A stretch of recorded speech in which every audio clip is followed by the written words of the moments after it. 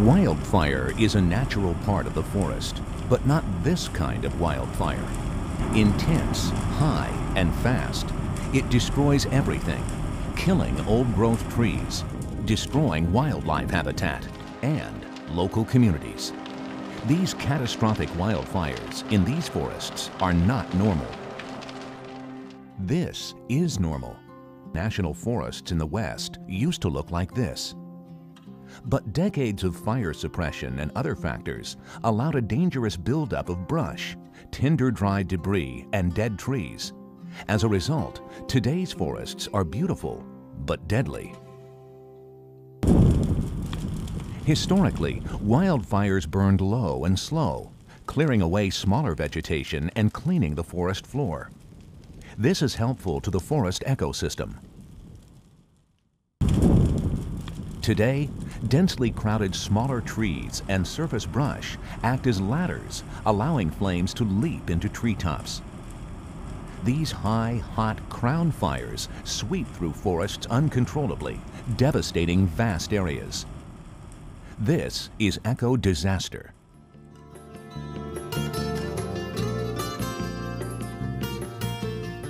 The Forests with a Future campaign had its origin in spring 2002 when more than 30 biologists, ecologists, other scientists, and forestry experts convened and worked for nearly two years to analyze existing guidelines and propose new solutions to the mounting wildfire crisis.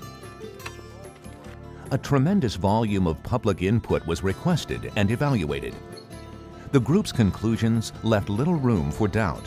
To save our forests, the amount of burnable material, or biomass, must be reduced.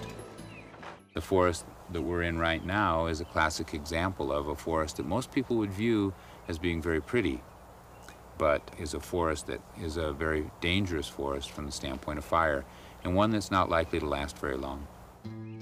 The campaign will thin the forest at strategic sites to protect communities and slow the spread of catastrophic fires.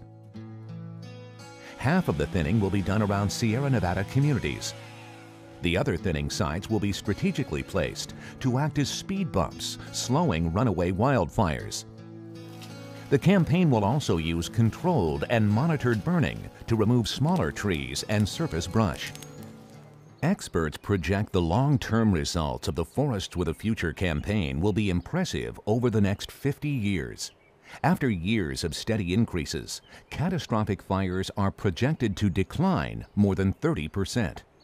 And after years of steady declines, the amount of old-growth forest is expected to double. Wildlife habitat will also dramatically increase. After past declines, nesting habitat of the spotted owl, for example, should nearly double. Within 20 years, nearly all Sierra Nevada communities will be much better protected from catastrophic wildfires. Forest thinning projects are being proposed by Forest Service district rangers and forest supervisors, then planned with local citizens and community organizations. All projects will be carefully monitored by Forest Service professionals, then evaluated and adapted as needed based on results. Full public and private collaboration will assure that local concerns are fully addressed and that communities, old-growth forests, and wildlife habitat are protected.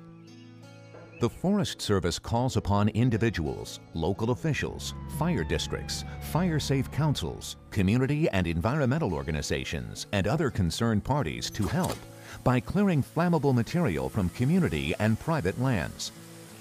Forest Service grants and technical assistance will be available to support these projects. Changing wildland fire behavior won't be quick or easy. Forest with a Future is a campaign based on forest time. It will take a decade or two to significantly decrease catastrophic fires, increase old-growth forests and wildlife habitat, and protect our communities. But we must start now. The forests of today must become forests with a future, like the forests of the past. When wildfires return here, as they surely will, the Sierra forests must endure. In the true spirit of conservation, we urge you to take part in this great effort Help the Forest Service protect this precious heritage.